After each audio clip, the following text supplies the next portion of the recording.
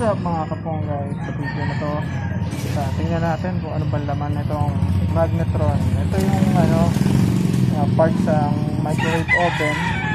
Kaya, ito yung nagpapainit ng ano, ng microwave oven nyo. Kaya galing to sa isang kong customer. Uh, bali, nagpalit ako ng, pinalta ko ng ganito. Okay na yung microwave niya. Ang problema nito, eh, shorted ito, paano mo malaman kung shorted ko siya? So, kailangan tester. Uh, uh, harap natin ng tester. Yan. Kita ba yung tester? Yan. Uh, tester. Tapos, ito, tetest natin to. Ngayon, naka times 1 lang ako. Times 1 lang yung tester ko. Yan pag tinext mo dito ayan. Dito ka. Ayan o may tabas yung pointer. Ito yung pointer o ayan o may tinext ko. Tapos si ano may sa body. Ayan na gumagalaw. Ayan, dapat hindi yan nagalaw eh. dapat hindi papalo yan. Pointer ng tester natin. Kaya ayan kasi may problema nga to. Itong anak ko kaya pinaltan ko kaya hindi na rin nainit yung ano. Uh, pag nag shorted kasi to puputok na yung fuse fuse dun sa loob ng microwave no? Hindi na ayun hindi na siya iinit kasi putok na yung fuse. Saka pag pinalpan yung fuse lang puputok uli kasi shorted nga to. Yan tignan natin yung nasa loob nito. Ganito yung itsura ng magnetron. Yan lagyan natin ilaw para kita natin. Yan nakikita nyo meron ano, dalawang magnet kaya pala magnetron din kasi puro magnet halos. Tapos may piece dito. Ito ewan ko kung ano to gold pa yan o ano. Uh, try natin buksan para malaman natin na nasa loob. Yan uh, ito yung segment sa aking channel na what's inside. Isang playlist ko what's inside. Ito yung uh, bubuksan natin yung mga parts tingnan natin yung nasa loob para matutunan din natin yung nasa loob ng mga parts kaya ginawa ko tong um, playlist na to na ang pangalan niya eh what's inside. Meron ako mga bubuksan ko na ito no? ito may, nakikita ko ito eh parang ito. So i-open ko galing long nose. Meron na dun nga pala sa playlist ko na what's inside meron naman mga ako mga nilagay doon na mga yung mga nabuksan ko na panoorin nyo na lang kung ano para malaman nyo lang kung eh kayo kung gusto nyo lang naman na kung malaman kung ano mga nasa loob ng mga parts ng appliances mo. Uh, gagawin ko to siguro kahit anong na appliances.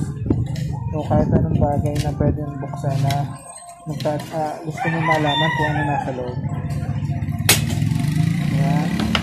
Siguro post ko muna. Kasi ang hirap tanggalin eh. So, pag nabuksan ko na, parang di rin humaba. Ba, pag para di rin humaba, um, popost ko muna video. So, para malaman nyo. Kaya, post muna natin ha. Yung mga kapongga yan, uh, na ano na natin, nabuksan na natin. Bali, sinungkit ko yung apat na parts dito. Yan. Pati ito. Yung ilaw para pati ito.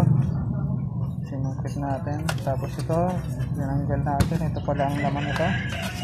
Yan. Yan pala yung laman niya. Uh, nakakonect ka siya dito. Ito maganda talaga sa antena. May carbon siya. May carbon tapos may winding na nakabilot papunta dito sa ano ito pala yung nagpapainit talaga nito.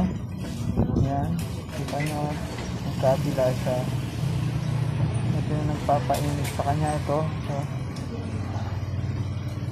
tapos yan at tinanggal ko na. Yan sobrang lakas ng magnet oh. Yan tanggalan natin tapos to tingnan natin kung ano nasa loob nito hindi ko pa nabubuksan talaga eh. Yun, diretso pala nun. Ah, kung gusto mo ng magnet pala, ito. Free magnet. Ang laki. Ang laki niya. Sobrang tigas, oh. Ano kaya to? Hindi ko alam kung ginto ba ito, ano. Yan. Tingnan natin kung matatanggal ba natin ito. Yan, matanggal natin. Ang laki ng magnet, oh. Maghahanap ka ng magnet dito, baka makasirang magnetron pala. Tanggalin natin ito. Oh. Hindi siya matanggal kasi gawa na nakakabit dito. Siguro putulin ko na lang dito. Putulin ko na lang. Para matanggal natin. Sobrang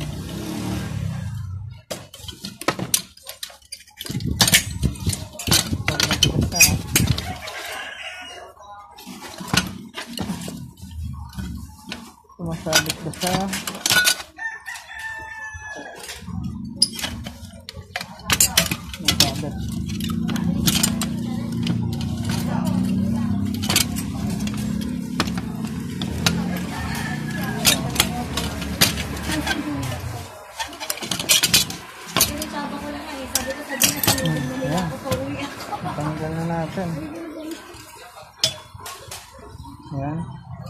Ko din sa loob. Dito. Dito siya. Ayan. Ito yung pinaka nag-iinit talaga. Ito palang port ito para sa ano, ma-spread niya yung init niya. Ito yung nagpapainit. Ito siguro yung shorted. Ito pala, ah, ito yung nag-distribute ng init din kasi ito umiinit tapos dinidistribute ito. Tapos yan, yung mga magnet pa pag ayan, titigas. So, talagang magnetron na magnetron talaga ang tawag. Kaya tawag magnetron tawag sobrang lalaki ng magnet. Ayan. Ayan may free magnet na tayo. Ayan, tapos ito nga ah, try natin kung ayan ito yung mga ano nyo try natin kung ano bang ano nito kung shorted nga to ito kasi yung pa nga ito pinaka nag short eh eh, yan.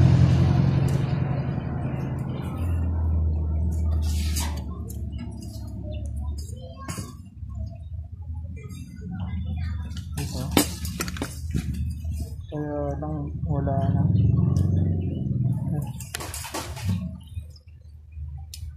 Pagtanggal na siya, hindi na siya shorted. Siguro nag-short siya nung nakakabit siya sa body. Ah, parang nagkaroon ng leak siguro to. Sa paano tawag din? Yung ah, nag, parang tumatawid yung ano nito dito sa body. Kaya nagsasorted. Kaya pag ganun siguro, pag ganun, sira na. Ayan. Dapat hindi tatawid. Siguro may ano to. Tingnan natin kung may tama ba siya. Ito, mayroon ditong gasgas eh. Ito. May gasgas siya. Ah, siguro hmm, hindi na natin alam kung ano bang nagsira pero ayan eh, inalam lang naman natin kung ano nasa loob niya Ah, ayan yung mga ano nasa loob niya. Ah, ito nagkaroon tayo ng free magnet ang laki. Ayan. pag naghahanap tayo ng malaking magnet ganito. Uh, magnetron namanap tayo magnetron. Ang lakas oh. Lumidikit nilalayo ko na. Ito naman oh. Oh. Pag dito layo pa lang oh. Hinihigop siya oh ang lakas ng magnet na to. Oh oh. Oh. Grabe oh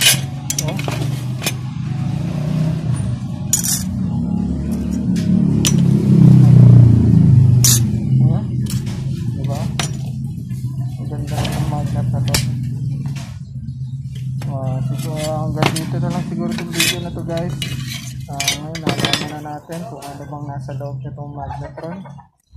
Ah, para-para tayong may natutunan kung ano ba nasa loob ng ah, magnetron. Ah, siguro hintayin nyo na lang mga ibang ah, ibang videos ko para dito sa segment na what's, what's inside nitong dito sa Tongpong TV Vlogs para sabay-sabay tayo matuto kung ano bang laman ng mga pyesa yung uh, appliances natin. Uh, please like, share, at subscribe na rin sa channel ko. Peace out.